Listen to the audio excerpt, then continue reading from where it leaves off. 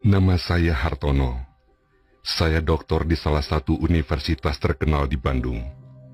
Saya dibesarkan di keluarga modern, di mana ilmu pengetahuan dan kekayaan duniawi sangatlah penting dan diistimewakan.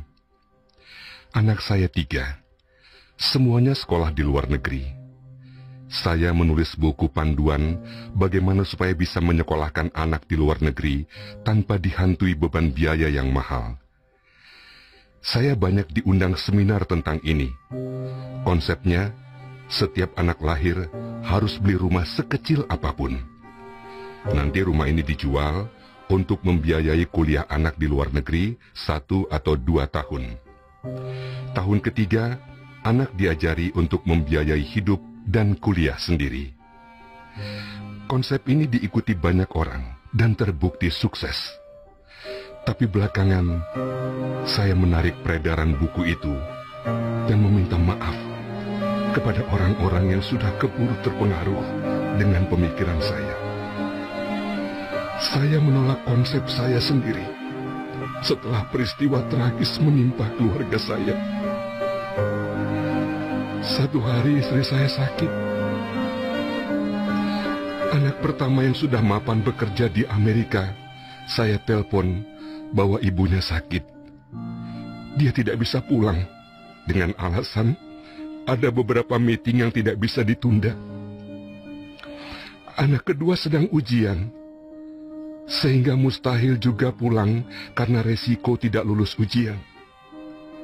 Anak ketiga baru saja diterima bekerja di sebuah perusahaan IT ternama.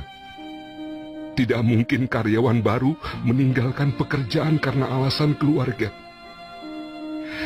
Ternyata Allah menakdirkan istri saya meninggal seminggu setelah ia dirawat di rumah sakit. Tak satu pun anak saya hadir di pemakaman ibunya. Saya sedih dan terpukul. Saya tidak bisa menyalahkan siapa-siapa karena itu akibat dari saya yang saya ajarkan kepada anak-anak. Sayalah sekarang yang menanggung akibatnya. Belakangan saya mendalami agama. Saya belajar ngaji, belajar memahami apa yang diajarkan Nabi, belajar bagaimana mendidik anak menurut Islam dan lain-lain. Ternyata saya salah besar. Harusnya saya tinggal bersama orang-orang soleh. Supaya anak saya terbiasa ke masjid dari kecil. Terbiasa ngaji. Terbiasa mendalami ilmu agama. Terbiasa dekat dengan ulama. Syukur kalau bisa sekolah di pesantren. Tapi semua sudah lewat. Waktu tak mungkin diulang. Saya merasa sudah menjerumuskan anak-anak dengan menyekolahkan anak saya ke luar negeri.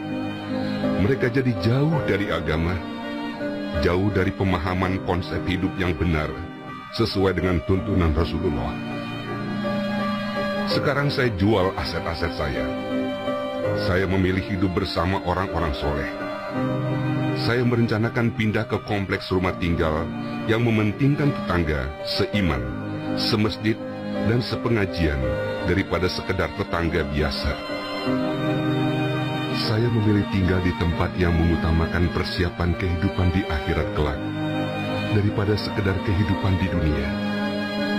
Saya membeli lahan yang cukup besar. Insya Allah akan saya bangun tahun depan. Saya akan tinggal di sana, ngaji di sana, dan membangun bisnis di sana. Siapa tahu nanti salah satu cucu saya mau tinggal bareng saya dan sekolah di pesantren di sana. Bisa hafiz Quran dan jadi aset saya kakeknya. Semoga